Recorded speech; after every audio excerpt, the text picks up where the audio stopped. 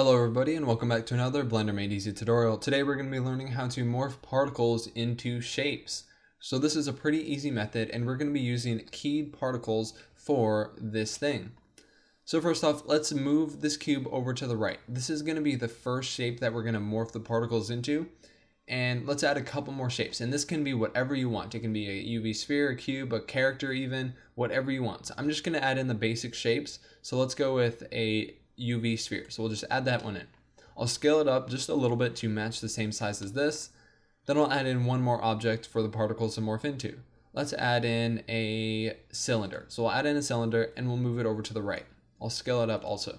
So this is going to be our three shapes that the particles are going to morph into. So let's select the first one right here, this cube, and go over to the particle system. I'm going to click new and leave the type at emitter. So this number right here is going to be the number of particles that it are going to form the shape of the cube. So if you want a more like closed, tight uh, particle system, you would want this at a higher number. I'm just going to go with a value of 5,000. I think that will work perfectly fine. We also want to make sure that the start and end frame are the exact same. So set that to 1. So all of the particles will be emitted all at once. So we can see them right there. If you want to, you can change this to volume. And if you change it to volume, I'll press Z, you'll see that the entire cube is now filled out. If I go into faces, you'll see that just the faces are the are filled out with the particles. But if I go to volume, the entire thing is. I'll leave it at faces. Next, we want to make sure that there's no physics for this, so turn that off. These three shapes right here are just the base form for the keyed particles. We're going to be adding in another particle system in a little bit, and that will be the main particle system that will actually go between the different shapes. This is just the outline or sort of like the guide for the other particle system. You can think of it as that. So there we go, with the physics set to nothing, we can go ahead and add the same particle system to these two. So I'll right click on this one and this one, then I'll shift right click back on this one. So the one that has the particle system is the active object. Then I'll hit control L and go modifiers. There we go, and we can see the particle system is now on these objects as well. Perfect.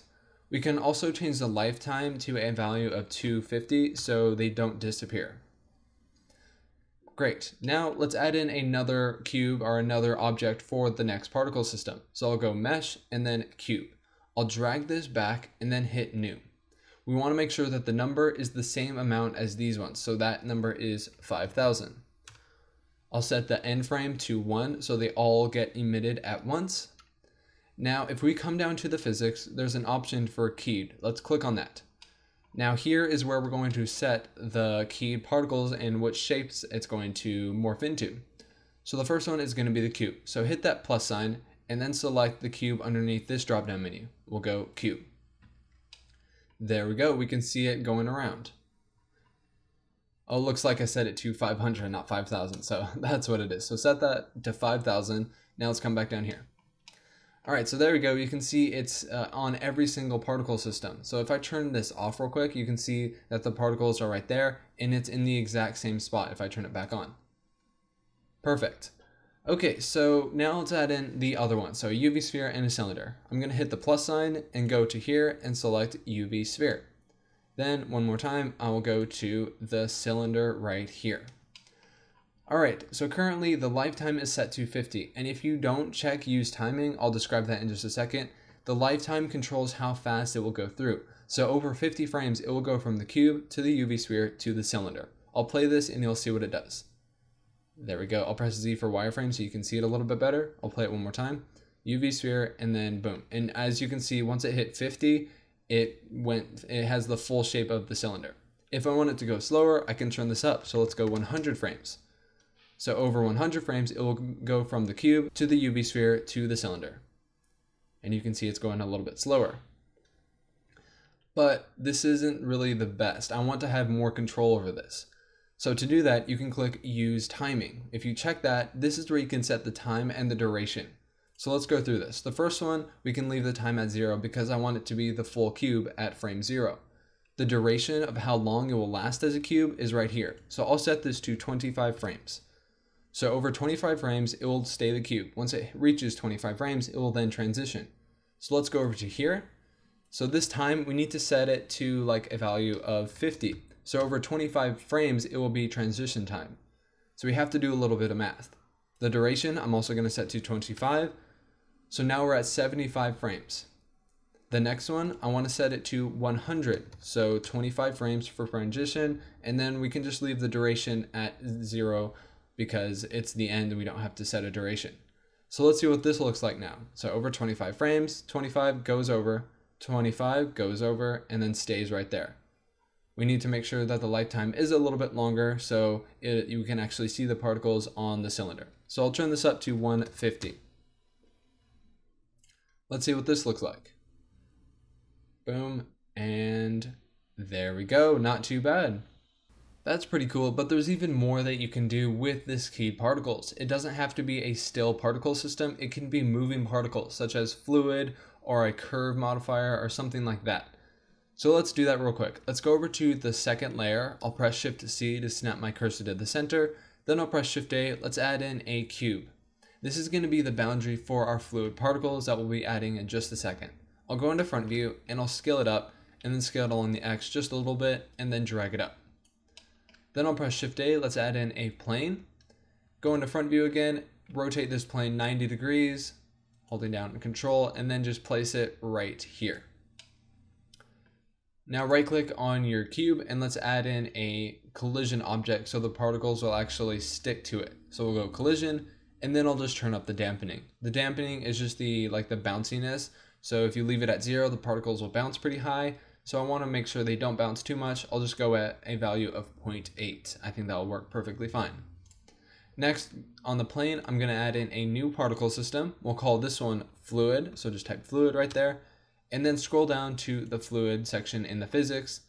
Now here, there's a lot of settings and it might look pretty intimidating. Don't worry, I've already created a tutorial on this if you want to go check that out. There'll be a little icon in the top right that will pop out.